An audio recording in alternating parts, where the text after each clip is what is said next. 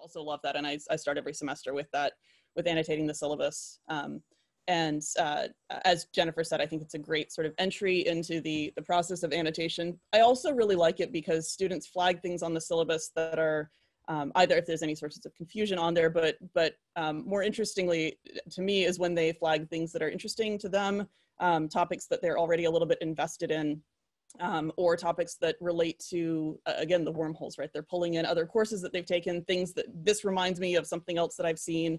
Um, and so I love being able to have that at the beginning of the semester because then I can kind of view, I know which topics they're already invested in. Um, and so building from those syllabus annotations has been really helpful with then um, kind of not necessarily choosing the topics, but choosing the direction that we might go with some of the topics based on um, comments that they've made.